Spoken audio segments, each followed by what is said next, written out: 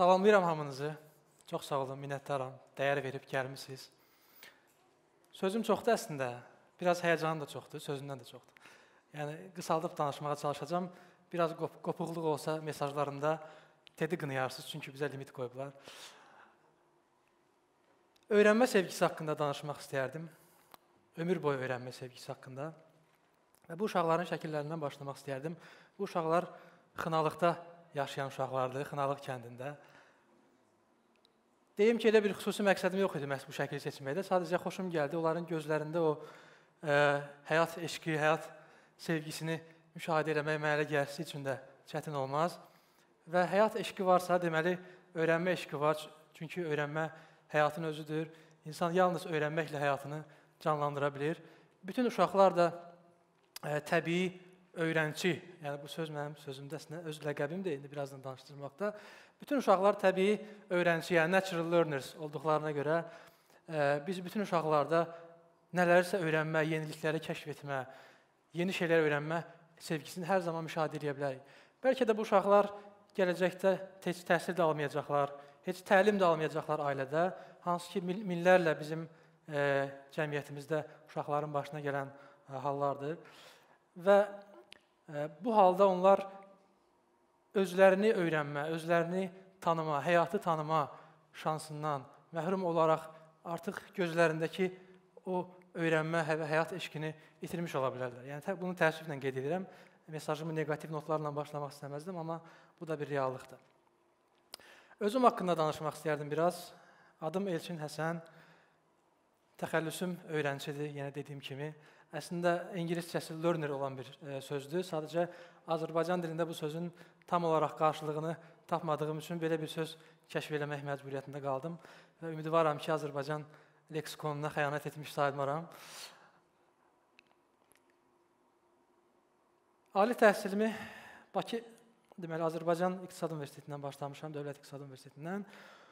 Bakalavr səviyyəsini orada oxumuşam. Əgər oxumaq demək olarsa, şəxsən mən deyə bilmirəm. Çünki nə mən oxumuşam, nə də məni oxutdurublar.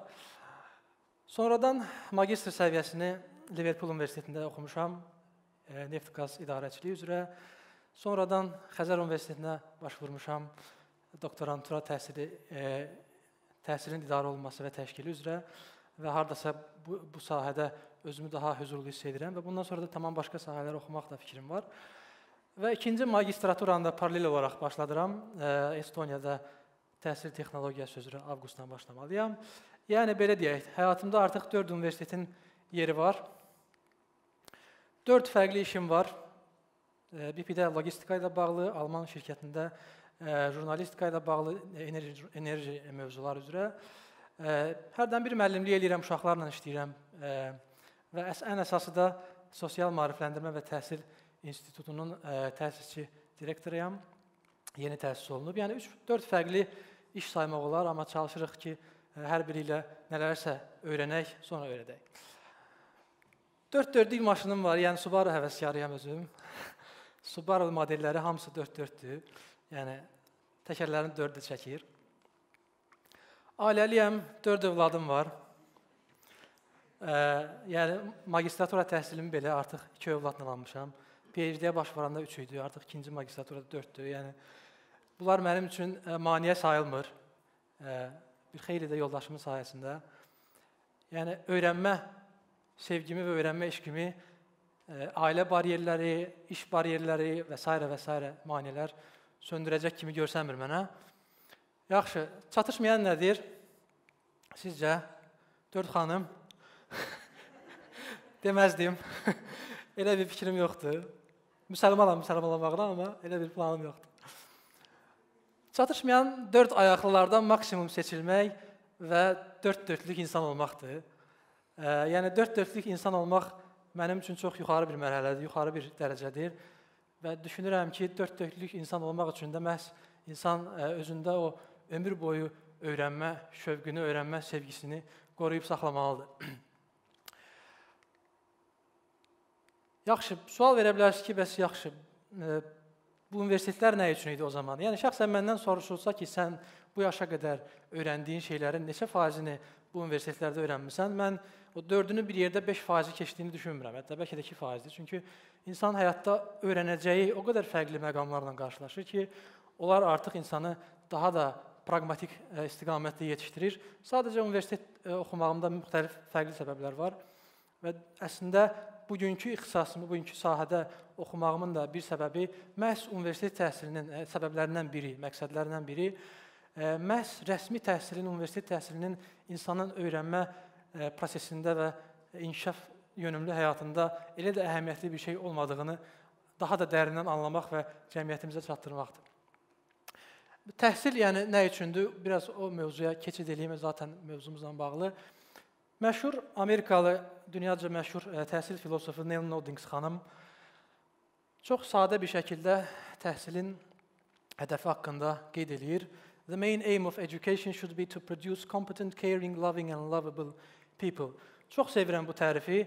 Çünki e, çox lakonik və hər şeyi ə, e, gözəl bir şəkildə ehtiva edən bir tərifdir. Yəni təhsilin hədəfi peşəkar, qayğıkeş, sevən və sevilən insanlar yetişdirməkdir. Yəni burada biz artıq ə, açıq şəkildə müşahidə edə bilərik ki, cəmiyyətimizdə təhsilin hədəfində biz yalnız hardasa hardasa birinci sözü kompetentə görə bilirik ki, peşəkar insanlar yetişsin, işləsinlər, karyera qursunlar, qazansınlar və yaşasınlar. Amma biz digər hissəni hardasa unutmuş kimiyik qlobal səviyyədə, nəinki ölkə səviyyəsində qayğıkeş, sevən və sev sevilən insanların yetişdirilməsi kimi bir hədəf ə, e, görə bilmirik biz artıq öyrənmə prosesində və ya təhsil prosesində. Və bu ə, e, məqsədlə də biz ə, e, şəxsən mən ə, IC adlı təşkilatı təsis etməyi qərara gəldim. Institute for Social Enlightenment and Education ə, sözləri də elə seçdim ki, həm ə, zaten bizim vizyonumuzu ifadə eləsin, həm də qısalması bir ə, məna versin. Çünki düşünürəm ki, öyrənmə və təhsil insanın ən başlıca məqsədi, insan, insanda ən başlıca məqsəd sırf özünü və ətrafını görə bilməsidir. IC də görmə mənasını verir. Sosial Maarifləndirmə və Təhsil İnstitutu sloqanımız budur: öyrənməyi bizimlə sev. Və ümid edirik ki, bizim gələcək layihələrimiz hansı ki, böyük əksəriyyət hələ ki planlama mərhələsindədir. Həqiqətən də bizi izləyənləri, bizə qoşulanları, bizi tanıyanların həyatında bir az da olsa təsiri, faydası olacaq. Bəzi bəlkə də dönüş nöqtəsi olacaq və həqiqətən də o öyrənmə sevgisini e, uşaqlarda qoruyub saxlamış olacaq. Biraz böyük olanlarda da yenidən yaratmış olacaq. Çünki böyük e, yuxarı nəsildə artıq öyrənmə sevgisinin böyük əksər hallarda itdiyini müşahidə edirik. Layihələrimizdən biri Xan Akademiyası haqqında, Xan Akademiyası ilə bağlıdır. Yəqin ki, eşitməmiş olmazsınız. Xan Akademiyası dünyanın ən böyük təhsil platforması belə sayıla bilər və 10 il ərzində 1 milyard yarım dərs vermiş bir təhsil platformasıdır. Onlayn platformadır və təsisçi də Salman xan çox savadlı və çox fədakar bir insandır və heç bir mənfəət güdmədən bütün dünyanı qlobal səviyyədə bir təhsil inqilabı etmiş bir şəxsdir. Xan Akademiyasının özəlliklərindən biri bu şəkili biraz məzəli olsun deyə qoydum. Yəni Rəşid keçmişin xanını gətirmişdi bizə. Biz də çalışırıq gələcəyin xanını gətirək ölkəyə. Çünki bu gələcəyin təhsili artıq e, xeyli virtuallaşmaq üzrədir. E, mən təhsilin tamamilə virtuallaşmasının qətiyyən əleyhinəyəm və bu zaten mümkün də deyil.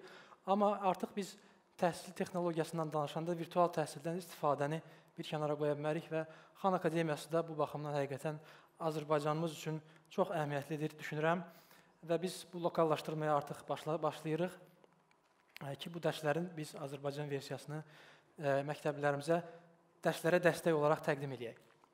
Biz məktəb vaxtı səhnəciklər oynayırdıq, səhnəciklərə çıxırdıq, rola girirdik və həqiqətən də iki məktəb dəyişmişəm. Hər ikisində bütün səhnəciklərdə ən çox rollar mənə verildi nədənsə. Ola bilsin biraz artistik qabiliyyətlərim yaxşı idi əvvəllər, bəlkə də indi zəifləyib. Yəni biz bu çıxışlarla, biz bu rolları oynamaqla mən düşünürəm ki, hətta o dərslərdə qazandığımız dərslərdə qazandığımız e, şeylər, bilgilər və s. onlardan daha çox şeylər e, öyrənmiş olur. Çünki insan rola girəndə, insan e, hörmətli Ayaz müəllim mənim bu fikirlərimi yəni ki, daha çox dəstəkləyər. Rola girəndə insan nə hansısa bir obrazı oynayanda ünsiyyət qabiliyyəti öyrənir. İnsan fərq özünü fərqli ifadə etməyi öyrənir. Tamam fərqli və çox əhəmiyyətli həyati qabiliyyətlər öyrənir və düşünürəm ki, məktəb sistemimizin ən böyük çatışmazlıqlarından biri də məhz qeyri-akademik e, göstəricilərin, qeyri-akademik keyfiyyətlərin uşaqlara aşılanmaması, öyrədilməməsidir, hansı ki, inkişaf etmiş ölkələrdə artıq rəsmi səviyyədə öyrədilir. Öyrənmədən danışanda öyrənməyə tərif verməyi düşündüm və ə, şəxsən özümə məxsus bir tərifdir. Ə, qüsurları görərsəz, görərsinizsə bildirməyinizi xahiş edirəm. Ə, sözlərin üzərində bir-bir düşünərək yazdığım bir tərifdir. Öyrənmə nədir mənə görə? Öyrənmə həyat qavrayışını və yaşam tərzini birbaşa və ya dolayı inkişaf etdirən, məlumat və məna, məlumat, məna və bacarıqların gündəlik həyatın hər bir yönündə koqnitiv və emosional şəkildə kəsb olunması prosesidir. Çox qəliz bir tərifdir, amma incələyərsək mənə elə gəlir ki, çox rahat olar anlamaq. Yəni diqqət etsəz, həyat qavrayışını və yaşam tərzini insan hardasa iki hissəyə bölmək olar. İnsan bir beynində onun həyat qavrayışı, həyat anlayışı var və bir də onun praktikada ə, e, həyat tərzi var.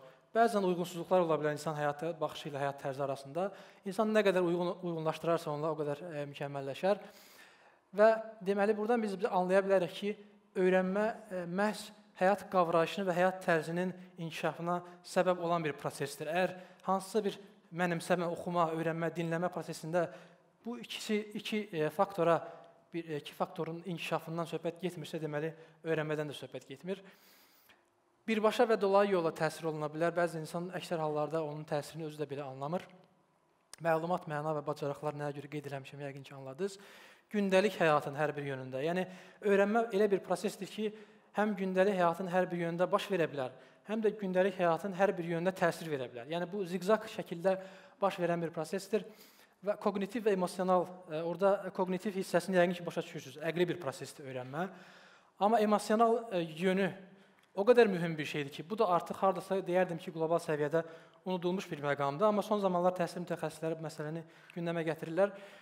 Ümumiyyətlə istənilən bir oxuma, dinləmə, soruşma, yəni öyrən öyrənə biləcəyimiz öyrənmə prosesinin gedə biləcəyi istənilən mərhələdə, istənilən bir hadisədə, istənilən bir davranışda emosiyalar nə qədər yüksək olarsa, öyrənmə prosesi də o qədər dərin olar. Yəni o qədər bizim daha çox ə, uzaq uzun müddətli yaddaşımıza yazılar və həyatımızda da daha çox ə, rol olar deyə düşünürəm.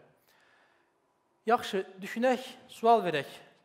Məktəblər, universitetlər bizdə bu öyrənmə halını aşılayırmı, öyrədə bilirmi?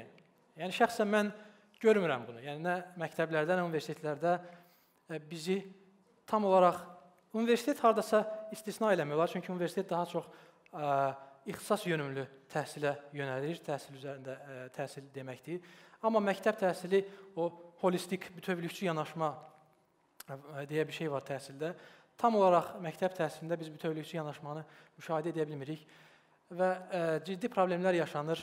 Uşaqların bayaq qeyd etdiyim kimi uşaqlar təbii öyrəncilərdir. Yəni öyrənmək istəməyən, heç bir şey öyrənmək istəməyən uşaq yoxdur həyatda. Elə bir yəni yaradılışın ə, e, qanunvericiliyinə, qanunlarına ümumiyyətlə zidd bir şeydir hansısa uşaq curiosity deyilən söz var ingilis dilində. Yəni kəşf etmə, öyrənmə, yeni şeylər öyrənmə.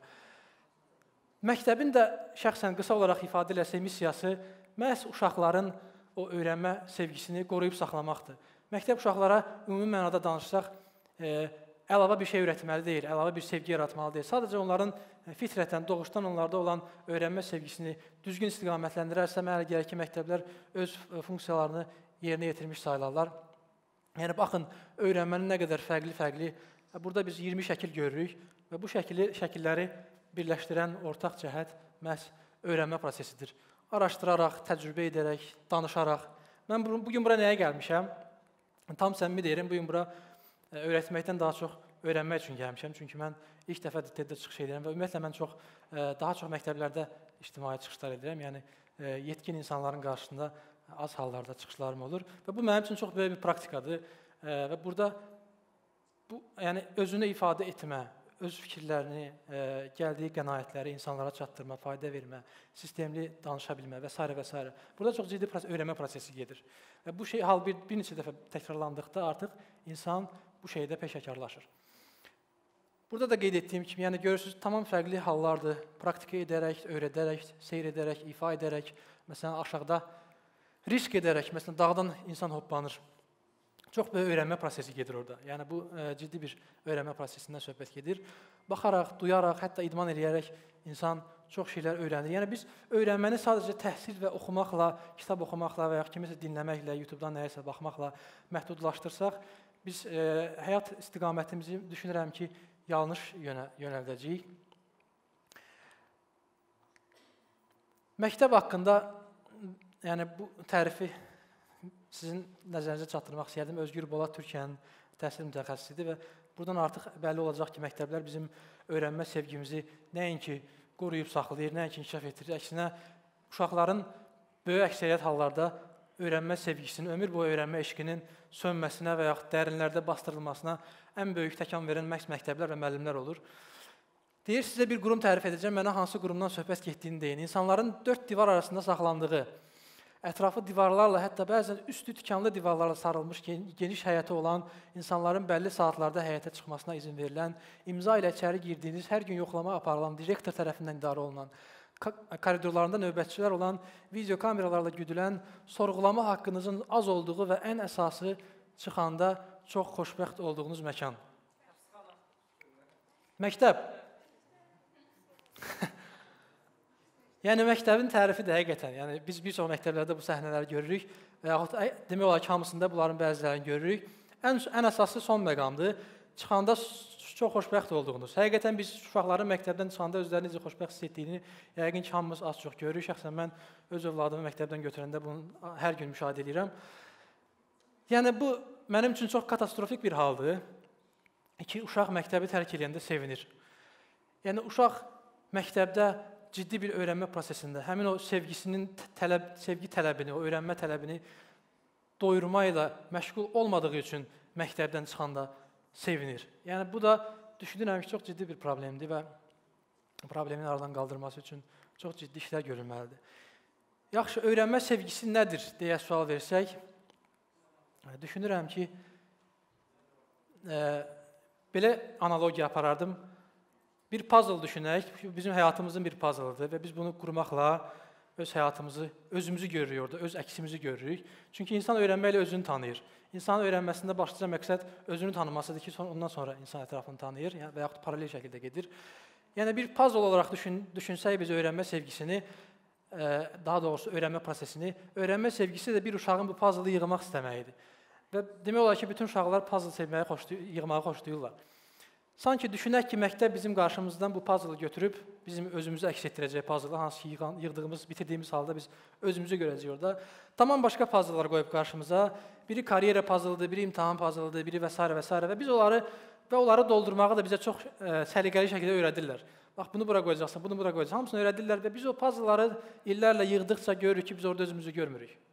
Biz universitetə də giririk, iş də tapırıq və s. və s. və və biz görürük ki, bizim öyrənmə hədəflərimiz yanlışdır. Çünki bizim puzzlelarımız yanlışdır. Biz məktəb, məktəb və yaxud ev, evdə valideynlər və yaxud kənarda baş verən e, hadisələr artıq bizim qarşımızdan o özümüzü əks etdirəcək puzzle götürür və başqa puzzlelar qoyur qarşısına. Biz də onu başlayırıq illərlə doldurmağa. Sözüm çox idi əslində qısaltmağa çalışdım. Hamınıza arzu eləyirəm ki, özüm də qarışıq, həyatımızda öz puzzle-ımızı qarşımıza qoyaq və doldurmağa başlayaq. Və düşünürəm ki, insan heç vaxt öz puzzle-ını doldurub bitirə bilməz. Bu yalnız ölümlə baş verir və ən böyük öyrənmə hadisəsi də zaten ölümlə və ölümdən sonra baş verir. Şəxsən bir inanclı bir şəxs kimi deyə bilərəm, düşünürəm. Amma bu faydasız bir öyrənmə hadisəsi olur, çünki ölümdən sonra artıq gec olur. Ona görə gəlin e, həyatımızı, saatlarımızı, dəqiqələrimizin qədrini bilək və bu puzzle-ı maksimum dərəcədə dolduraraq özümüzü və ətrafımızı orada görməyi bacaraq. Çox sağ olun.